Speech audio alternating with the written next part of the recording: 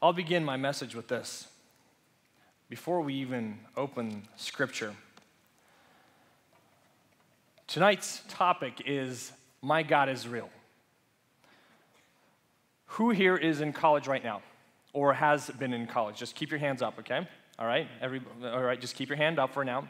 Now, who here had to take a world religions class or a philosophy class? Keep your hands up. Everybody put your hands down.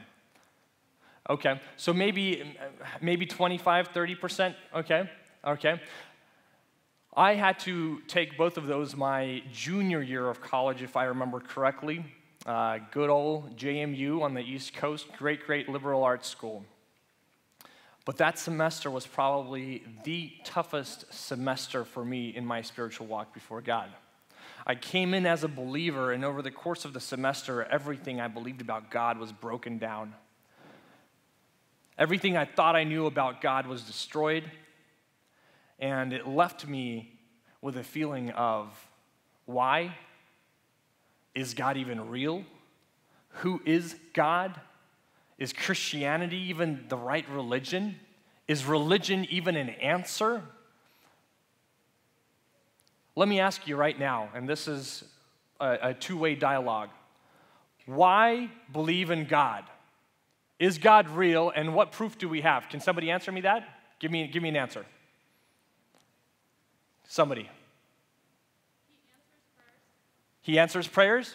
I absolutely agree with that. But I'm an unbeliever. So I don't see him working in my life. That's not an answer for me, you know. Maybe you're just making that up. I don't know. Give me another one. Creation, creation okay. But did you see creation? I, mean, can you show me? Can you prove that to me?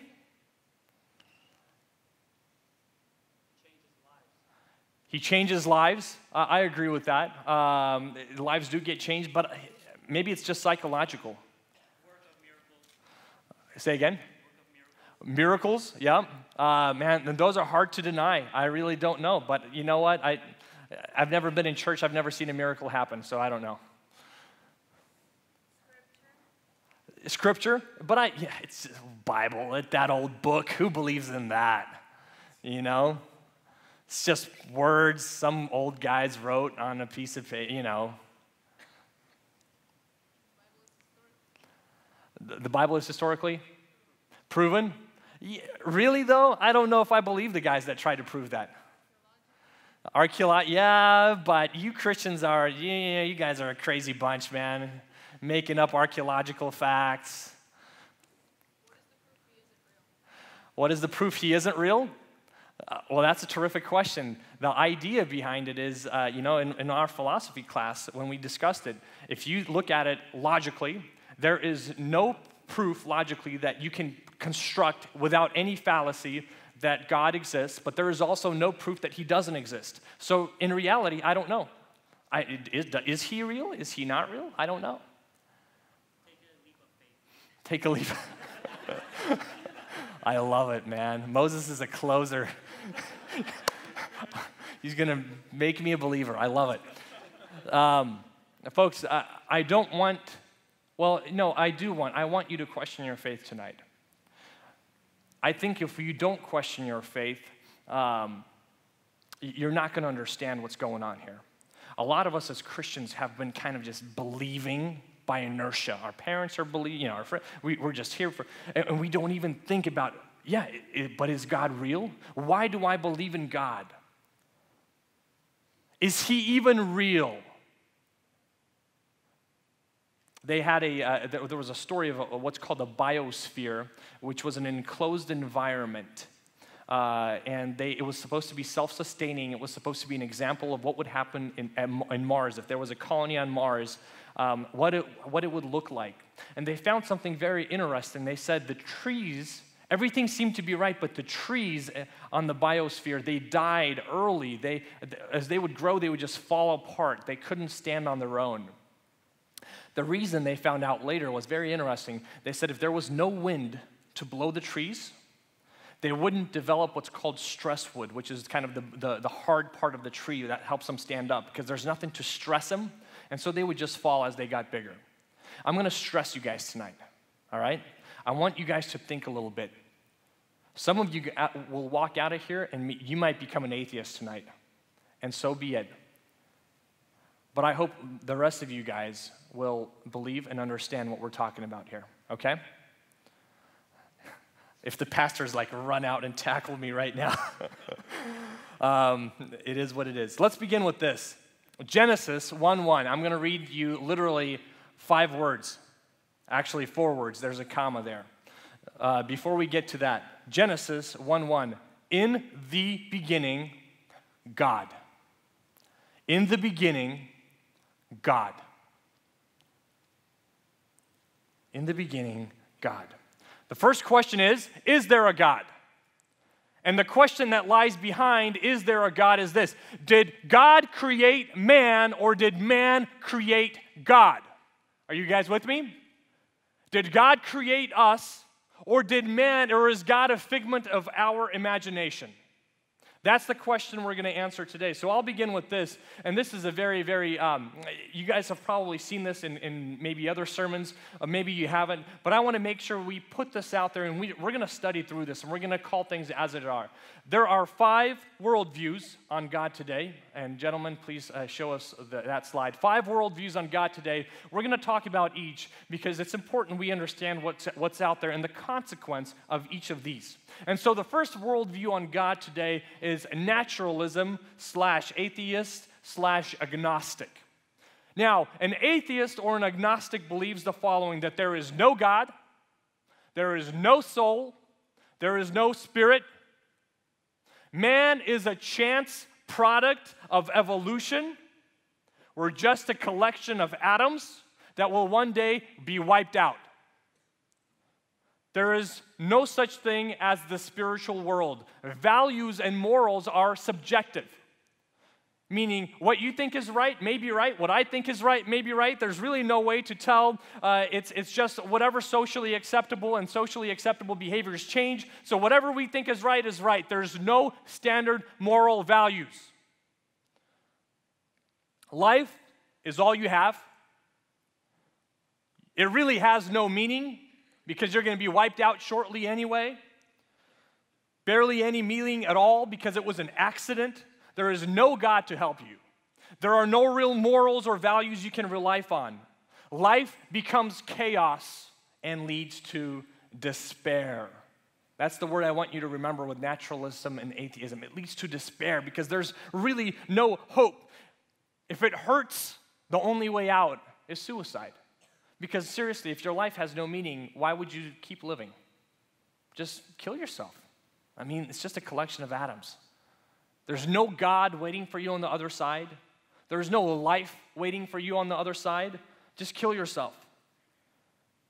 Your only purpose in life is for your brain just to release positive hormones, just little atoms for the rest of your atoms, just for you to feel good. That's it. There is no meaning it's chaos, it's despair.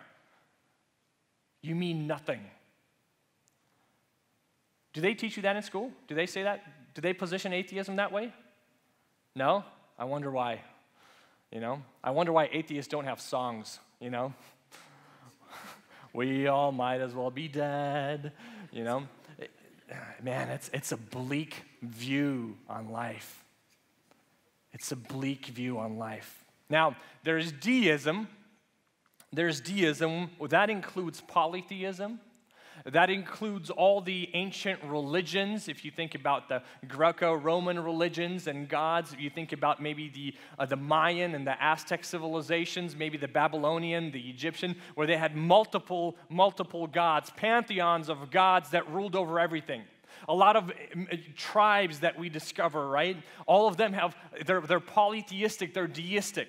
What this means is the world they believe is populated by spirits and they govern everything that goes on. Gods and demons are the real reason behind natural disasters, natural events, and they're often attached to physical objects, right? So you have, oh, this is the spirit of my spear, right? This is the spirit of my home, the spirit of this tree that we worship, the spirit of my car, you know?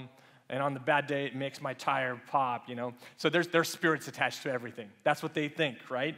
Man is a creation of the gods, like the rest of the creatures on earth, And oftentimes, the gods will manipulate you as a person to do what they want. So that's why you have to keep making them complacent, right? You need to keep them happy. So you bring them food, you know, there's an altar. You, you make sacrifices on the altar. You want them happy. You know, you want to feed the idols because a fed idol is a happy idol. Because if the idol, if your God is hangry, you know, hungry, angry, that's a bad day for everybody. You don't want your God to be hangry. So you keep feeding them in these spirits and you try to keep them happy. Moral values take the form of taboos, meaning don't do this because it's going to make this God angry. Don't do that, you know? Sacrifice a chicken for this God, but don't do this for that God. Give this guy corn. And it becomes this mess of just whatever feels right. This is a very scary, scary place to be. You live a life in fear that's if naturalism and atheism leads to despair, deism leads to fear. You will remember when Paul, the apostle, walks into Athens and he was walking around and looking at all these temples to all these different gods that they were trying to appease, spending just tons of gold and money and making all these temples. He says, he walks around and sees all these altars and he says, I even found an altar to an unknown God. You guys are so afraid of angering some invisible spirits, you guys built an altar for some God you guys didn't even know about. Just in case there's some God out there that we, hey man, we're gonna sacrifice something for you too. You know, just don't hurt us, don't strike us down with the lightning bolt. It's a funny situation because gods are really viewed as just their own. You think about Zeus and Athena and all these things, right? They're having their own, you know, they're hashing out things. They're at war, and humans are just kind of caught in the middle of all this. That's what deism is all about. You live a life of fear. Pantheism Pantheism is, uh, includes religions like Hinduism, Buddhism, New Age religions. What they talk about is that only the spiritual exists, everything is a part of God. And it really, it's not God, it's this life force this, that leads, and it's part of nature. Man is just a part of reality. You're not an individual, but you're just a piece of this reality and the spiritual thing. It's just kind of a soup and a mess. You're not really sure what's, but it's all positive and it just kind of moves you forward, right? Um, there's really no difference between good and evil. Uh, it's just, just a part of reality. Everything's just, it is what it is. There is only this life force that you have to connect with, right? So if you listen to Oprah Winfrey, any fans here? Peter's a fan of Oprah. Is, did, you, did she give you something free? Is that what's going on? Okay. Everybody gets a car, you know? It's, that's what it's about, just this positiveness. Guys, just do the right thing. You know, just it's it's about moving. Just it's we're all part of this together. There's this human experience.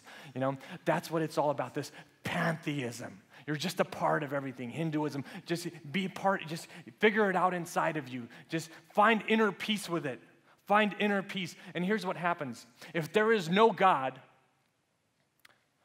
who lays down the moral law and tells you what is good and evil, then when evil happens, you really can't say anything about it because it's just, it, it is what it is.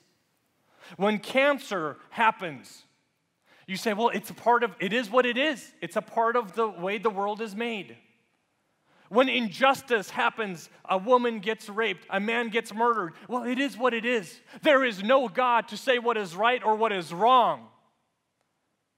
You have no hope of meeting God after you die. There is nobody, there is no Savior, it is what it is. There is hopelessness, and you are lost, and you just have to make peace with it and meditate about it and hope you're happy with what the current situation is because you can't change it, and there is no God to help you.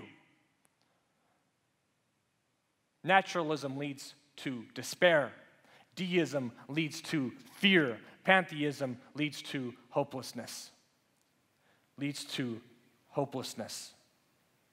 Next, there is theism, Theism is Judaism, uh, Muslims, Jehovah's Witnesses, all of that kind of lumped into that because they do believe that there is a God. They believe that God created the world. They believe that God created us, mankind. They believe that God does set moral values. He says what is right and what is wrong. And then that's it. So, you now, knowing what is right and what is wrong, need to abide by those values. So, if you're a Muslim, you better pray five times a day. Because if you don't, you're going to hell. If you're a Jehovah's Witness, you better live the perfect life. If you're uh, a, Jew or a follower of Judaism, you better follow the commandments and, and, and all that's in the Old Testament and the Torah and everything that's associated. You've got to live that life. You've got to be a good person. Because that's what God said. He laid it down, you know, right from wrong. You have to follow it. Now, that leads to two things. It's just about religion, right? There is no Savior, there is no hope, and um, it leads to either a state of judgmentalism inside of us. Is, is that a word? Judgment, maybe? Where you think, well, I follow all the rules. You know, look at me. I've done it all. You people are sinners. You guys don't follow the rules, right? It leads to all the, you know, I love Mark Driscoll. He spoke on the subject. He says, it leads to funny hats, you know? If you're a Muslim, you got to wear the one hat. If you're a Jew, you got to wear the other hat, you know? If you're, you know, I grew up in Amish country, you got to wear something else, right? Um, if you don't, you know, you got to cover up pants or shorts. Yeah, I don't know. You got to figure it out. You know, every church, it leads to rules and rules and rules and rules. You've got to wear a suit in this thing. You know, you go to an Orthodox church, you've got to wear something else. You know, why has he got a big hat? Because he's a big guy. Why has he got a little hat? Because he's a little guy, right? So that's what it leads to. And I, I love Mark's take on this because it's so, so accurate.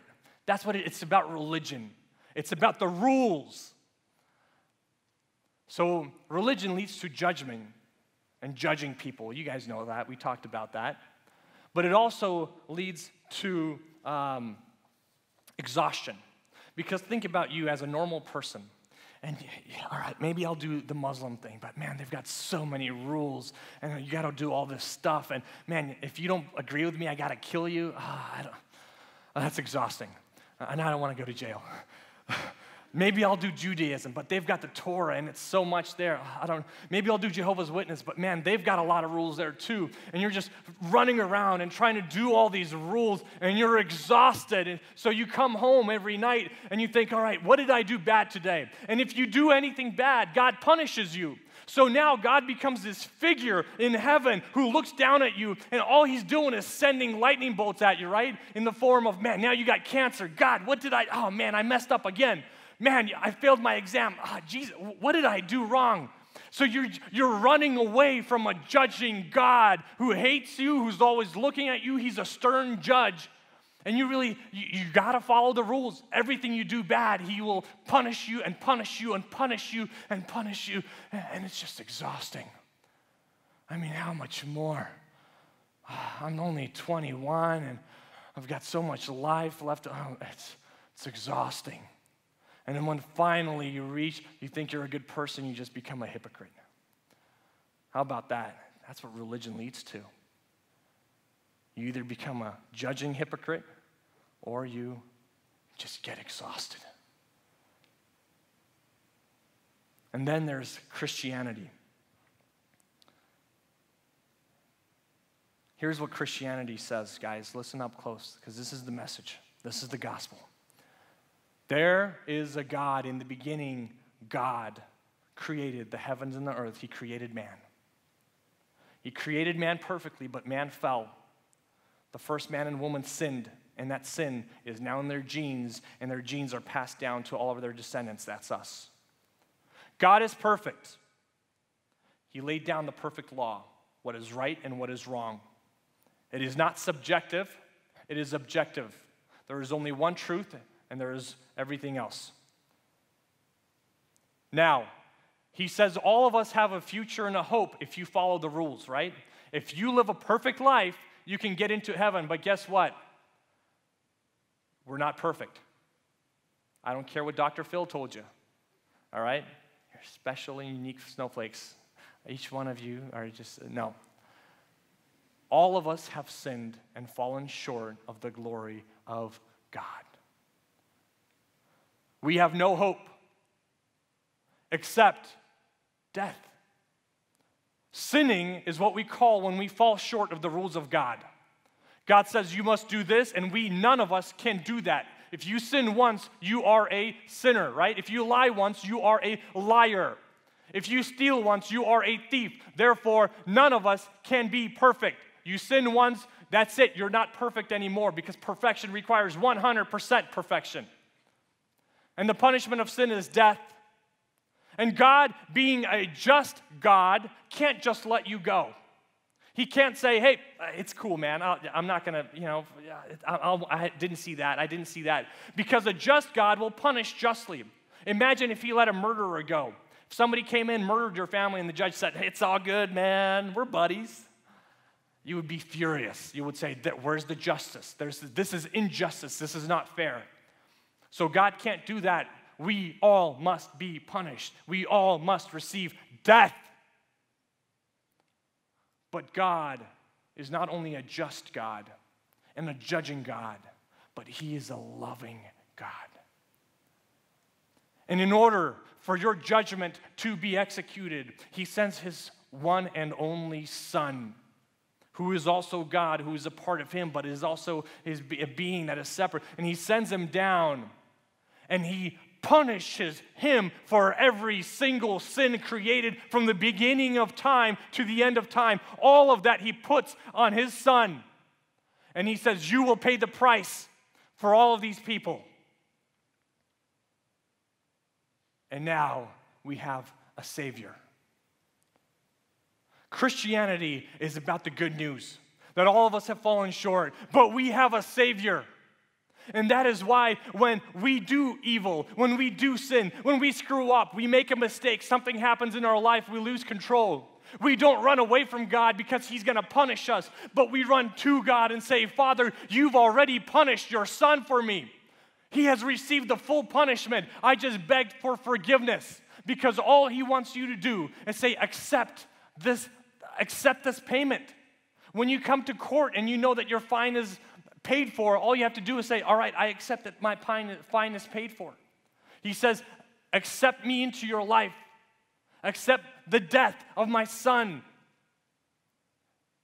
Devote your life to me. That's all I require. Just live a life that shows that you love me. Be thankful, accept, change your life, and sin no more. And if you do sin, come back. I'll, I'll, I'll forgive you but let's live that life of a relationship where I know you. Man, it's so simple, right? And yet, millions and millions and billions of people keep running away from God, running away from the Savior to all these other worldviews, to despair, to hopelessness, to fear, to religion, to hypocrisy. God says, Man, I don't get it. You have a Savior. You have a Savior. You have a God that loves you. I hope that kind of lays it out for you guys because as Christians, we believe in a certain type of God. Now, it comes to the next question of all right, we know that we have a God, we know we have a God that loves us, um, but now comes the question of all right, prove it to me. You know, we've talked about all these religions. Is there a God? Can you show me proof? Can you show me God? And you say, All right, well, can you show me the Big Bang? And they're going to say, No, but I can show you evidence of the Big Bang. And you say, Well, I can show you evidence of God. My thought today is this it's very simple. If God created the earth and the universe, in fact, out of things that are invisible, right? Could he not also himself be made of what is invisible? Could he not also be greater than that? I, mean, here's the idea, folks. We try to fit this huge idea of God, right? God is not the size of the stage, He's bigger than the universe. And we try to fit this idea of God as people here, tiny, minuscule in the whole scale of things. We try to fit the idea of God into our minds. And if we can't understand it, then He must not exist. It reminds me of a story of a man uh, um, that was just fishing off a bridge, and he would catch the fish and he would measure it, and all the little ones he would keep, and all the big ones he would throw back in the water. And somebody was watching this guy, and he comes up to him and like, "Bro, you are so dumb for real. Oh, You guys know the reference? Why are you throwing away the big fish? Just keep some of the bigger fish and you'll, you'll have more food quicker. And he says, No, no, no, no, that's not the reason. He says, My frying pan at home is only eight inches. I measure the fish, and if they fit on my frying pan, I keep them, and the big ones I throw back in the water. All right? We're like the guys that are sitting there fishing for God and trying to understand Him, and we catch a shark, we catch a freaking whale, and we're like, oh, it's too big for our frying pan. Throw it back in the water. It's just we can't, we can't accept it, we can't fit it in our minds. We don't understand it. Let me give you another illustration here. You guys know Job from the Bible? Most of you guys do, okay? Uh, I recommend reading that book. if, you have a Bible, it's amazing. But Job is a man um, living in the Middle East. Uh, you know, this we're talking about ancient history, and the Bible has a story about him where he, you know, he's going through this tough time that God allowed Satan to put in his life where he lost his family, he's lost all that he had, he's sick with leprosy, this terrible disease, and he's sitting there by this dumpster pile, uh, you know, and his friends come to try to comfort him, and all they do is judge him. So he's in a really tough spot, right? And finally, he kind of breaks down and says, God, I didn't really do anything bad. I'm not sure why this is happening to me. I want to speak with you. And God comes to him and begins to speak to him. And he says, Hey, have you seen the clouds? Do you know how, you know, rain is made? And Job says, man, no, I, I don't. you have to remember in those times they didn't, you know, they didn't know the water cycle like we did, right? And then he says another simple question. All right, have you ever been to the depths of the ocean? Now, you have to understand something here. For us, it's like, yeah, I know, you know, I've seen the anglerfish, you know, I've seen that. They didn't have scuba gear in the time of Job. So to them, anything deeper than like 12 feet, if you couldn't dive deeper than that, it was just mystery. You did not know what was out there in the ocean. You know, what monsters lurked under the in the depths of the sea. It was a mystery to you. You really had no clue. It was scary. So Job says, Man, I, I don't, I really don't know what's going on out there. So I'll put it into the words of modern day people, right? If God came to you, we know it's at the ocean, we know all that stuff, right? But if God came to Job today, if he came to you today, I would imagine he would say, Hey, do you know what dark matter is made of? Serge, you don't have to answer that question if you know that. but he's a physicist. Uh, but he would come, do you know what the Higgs, is it boson? Boson? Whatever but what, the, what, what are quarks made of? Do you know what happens on the edge of the universe? And we would say, No, I don't, man. I, I really don't know. It's a mystery to us. We don't know. And he says, Well, guess what? I do. I'm out there. I made that. It's all my realm. I, am bigger than all that. Here's a very cool um, a very cool observation is that the Bible never tries to prove to you that God exists. You guys ever notice that? There's never like this argument that, well, if, if this happened and this happened, and, then God must exist. I love that we begin to read the Bible, and instead of saying, let me prove to you that there is a God, it says, hey, in the beginning, God. It just states it as a fact. I don't, you know, prove whatever you want for yourself, but there is God. He was here from the beginning. In the beginning, God. God never tries to prove himself. And in fact, in Hebrews 1 1, uh, sorry, 11 1, he says, Faith is the assurance of things hoped for, the convictions of things not seen. By faith, we understand that the universe was created by the word of God, so that what is seen was not made out of things that are visible. I love it, man. So much science in that little verse. He says, God made things that we see out of things that are not seen. Right? Simple. So, therefore, he can also be something that is invisible, which means you have to accept it by faith. He's a whale, you can't fit him on your frying pan. Accept it and move on and believe. Now, that being said, I do want to give you a couple, I'm going to give you five proofs uh, in very, very brief form for the existence of God. So that we could all say, God is real, God happens, He, he moves among us, okay? And so, five arg- arguments for God's existence. First of all, the concept of God. Thank you, gentlemen. The concept of God.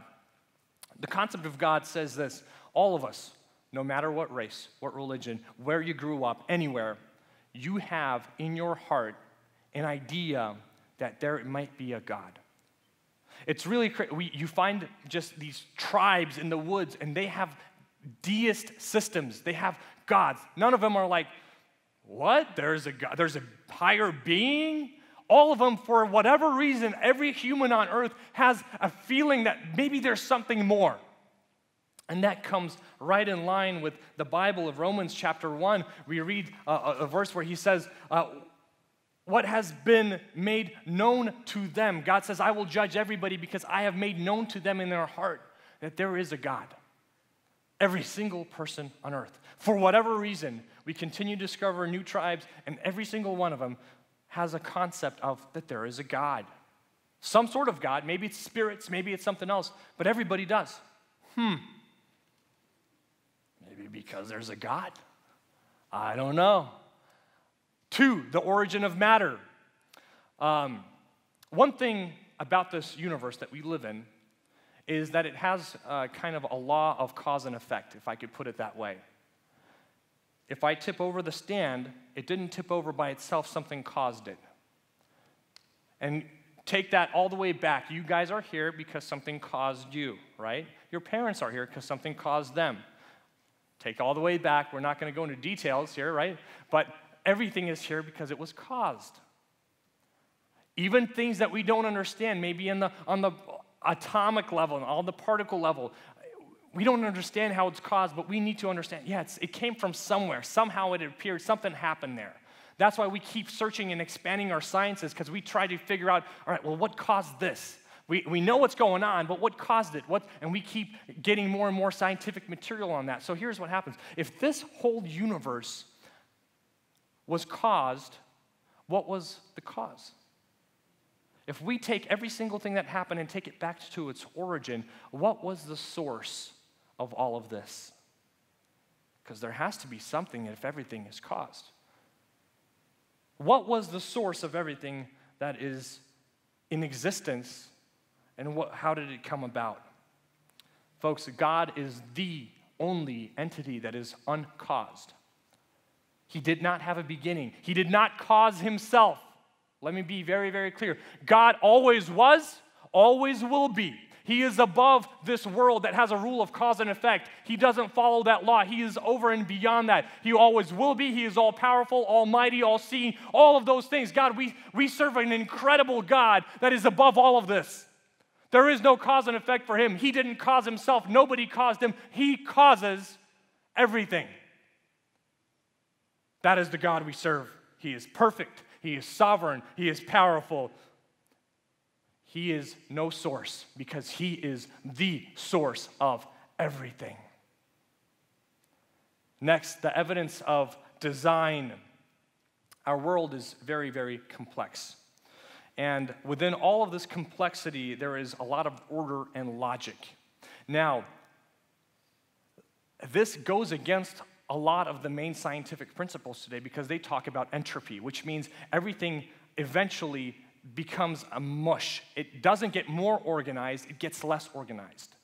But for some reason, we have Earth that is getting more and more organized. People are becoming, you know, more advanced. Even eh, where technology is developing, something's going on here that doesn't abide by the regular rules. There is design to all of this. There is thought. Folks, if I take a box of just toothpicks and I throw a firecracker in there, it's not going to and build me like a little toothpick bridge, okay?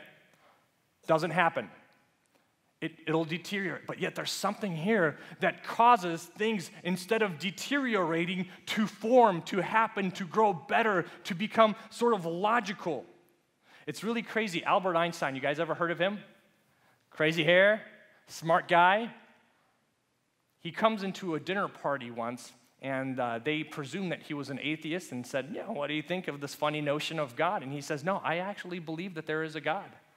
And the people were shocked, like, What? Albert Einstein, you're a smart dude. And he says, No, as I study physics, as I study this world, the science world, He says, I come into it like I'm going into a library. And when you go into a library, everything is nice and organized. I know you guys don't go into libraries anymore, it's about Wikipedia and stuff. But imagine like Wikipedia, but in real life, right? So he says, I look around and it's, it's, everything is organized by sections, by numbers, by authors. Everything is put in order. He says, that tells me that somebody put it in order. It doesn't just get up there by itself. So he says, when I enter into the scientific world, when I begin to study it, and I see that everything is just perfectly arranged and these laws are so beautiful e equals mc squared so short but same and it's the basis of everything we study this is incredible. There must be a designer. There must be evidence. There is evidence of design. Next the uniqueness of humans Humans differ from every other creation, folks. Our brains look the same as the brains of anything. A dolphin, you take a dolphin, our brains look very, very identical. But for some reason, we have morals, we have values, we have structure, we develop, we invent things that no other creature in this world can do. For some reason, we are just situated just like the Bible says. He put him above all creation. We are different from anything else in this world. We have thoughts, we have feelings, we have emotions, we have an understanding of self, self consciousness. And it's just weird and it's an unnatural phenomenon that again points to there being a higher being, to there being a God. It's really funny that a lot of scientists, even atheists, uh, other than the really extreme ones, will tell you, you know what? There may be a possibility for a God. There may be something out there. There may be a super intelligent being out there that we don't know and we can't measure. We can't discount that completely. We really can't. I think they're one step closer to becoming believers. I want to get them in here and speak to them because there is a God. And last, the resurrection of Christ. I love it because it, um, one, the resurrection of Jesus is the center of all we believe in. I love it because it's just been Easter a little bit ago. But here's how I'm going to explain this to you. It's going to be in the words of Charles Colson, who was involved in the Watergate scandal. Now, those of you guys that flunked history, let me explain. Um, Watergate was when President Nixon uh, was, uh, I'm going off of what I remember from history. hey, C's get degrees. Um, but when Nixon was uh, trying to become running for president, I think for his second or third term, I can't remember what it was. It was second term, right? So he uh, didn't feel like he was going to win. He needed a competitive edge. He sent some of his uh, aides and friends to go and raid the office of his uh, the guy that he was running against to try to get some competitive intelligence. Um, and basically, pretty much the whole thing got blown up pretty soon. People found out about it. Um, and Charles Colson was one of the guys that was out there and doing all of this. He was one of Nixon's closest aides. He went to jail for what was done. He came out of jail a believer. And he says this, man. Listen to the words of a very, very intelligent man. I'm going to read this to you guys, but listen, listen closely. I love this. When Charles Colson, one time Watergate criminal turned founder of the Prison Fellowship, is challenged about the truth of Christ's resurrection, he responds, My answer is always that the disciples and the 500 other witnesses, witness accounts of seeing Jesus risen from the tomb. When I'm asked, how do you know that they were telling the truth? So, how do you know that all these witnesses and people that wrote in the Bible were telling the truth that Christ rose from the dead? Maybe some of them were perpetrating a hoax. Maybe some of them were lying. Colson says, My answer to that comes back to an unlikely source Watergate. He says, listen to this. When Watergate involved a conspiracy perpetuated by the closest aides of the President of the United States, his closest friends, the most powerful man in America, and they were intensely loyal to their president. But one of them, John Dean, turned state's evidence, meaning he gave up and told everybody everything. Uh, he testified against Nixon's, as he put it, to save his own skin. And he did so only two weeks after informing the president about what was really going on. The cover up, the lie could only be held together for two weeks, and then everybody else jumped ship to save themselves. Not all those around the president, not now, all those around the president were facing embarrassment, maybe prison. Nobody's life was at stake. So he's saying, hey, during Watergate, These guys didn't want to be embarrassed. So, two weeks after all of this happened, they said, Oh man, I, yeah, I don't want this to go public. So, they all gave themselves up and said, Hey, it was all a hoax. Here's what we did. Here's the deal. And Charles Colson says, Now, what about the disciples? 12 men, powerless. Some were fishermen. I mean, just uneducated guys, you know, tax collector here, some, you know, uh, other guys there, zealots. He says, just random dudes from, you know, Israel. They weren't just facing embarrassment. It wasn't like somebody was going to embarrass them and say, ah, you know, we've discovered that you guys stole the body of Christ. It wasn't like that. Remember, they were stoned, they were beaten, they were crucified, they were boiled alive. John the Baptist boiled, you know, usually all of that. Peter hung upside down, nails torn out. They were skinned alive. Christians were hung on crosses and set on fire in Nero's gardens in order to light the parties that he had there. Can you believe that? That wasn't just being embarrassed.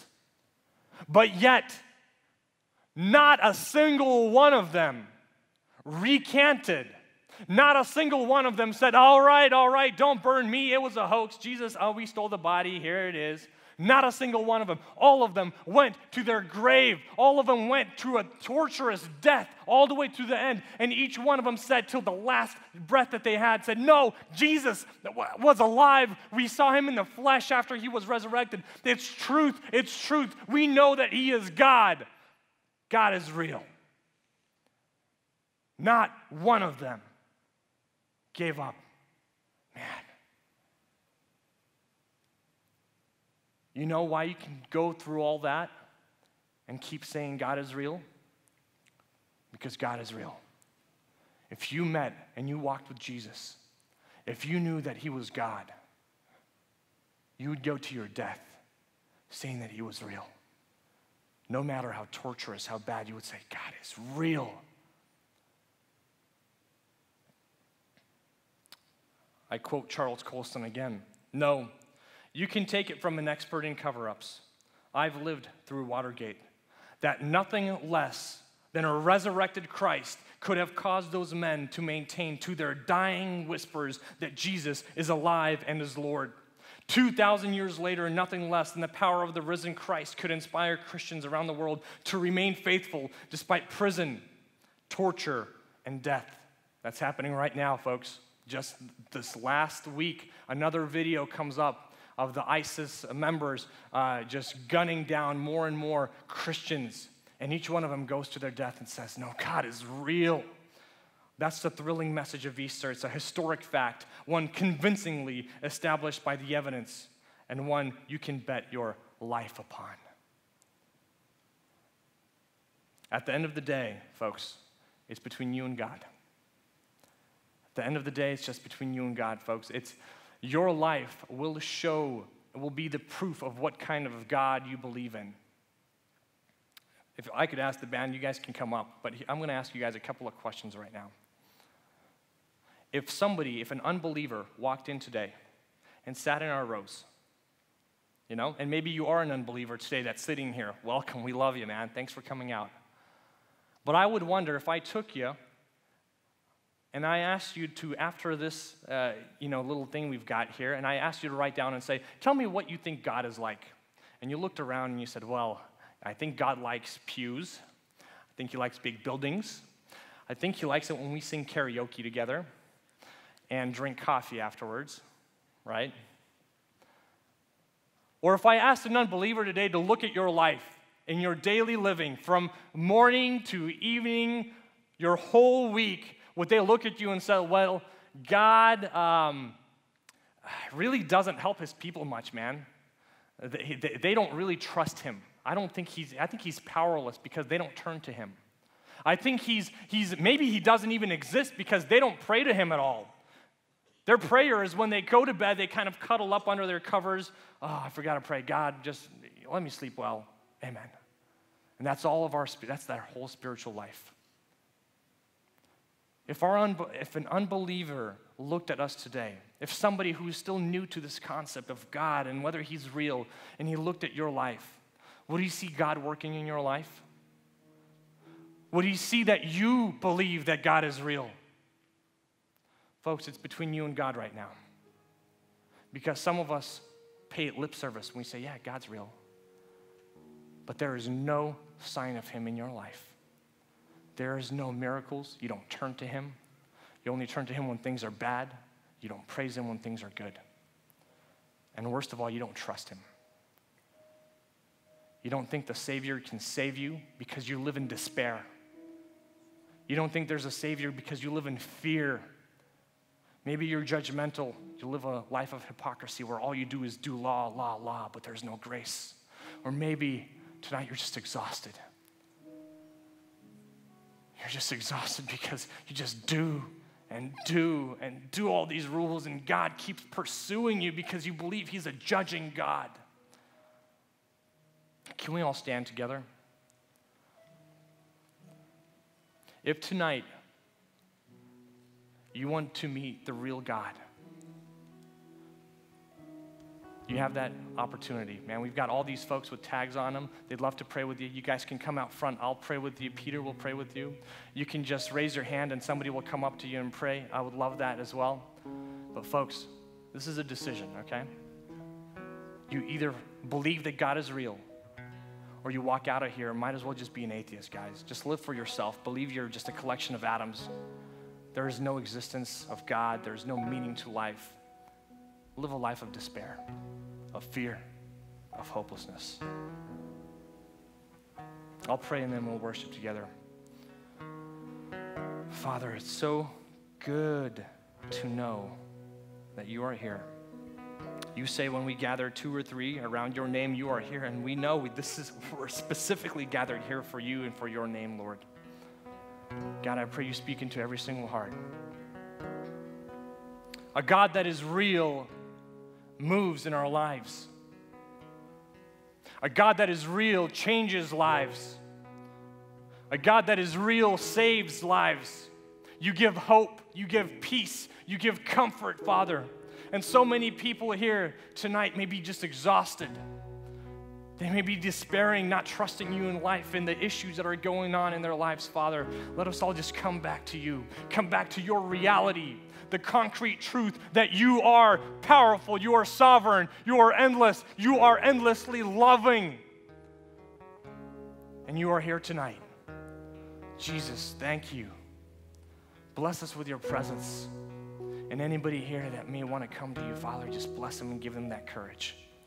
And all the rest of us that don't live with that truth permanently in our heart, Father, renew us with your spirit. In Jesus' name.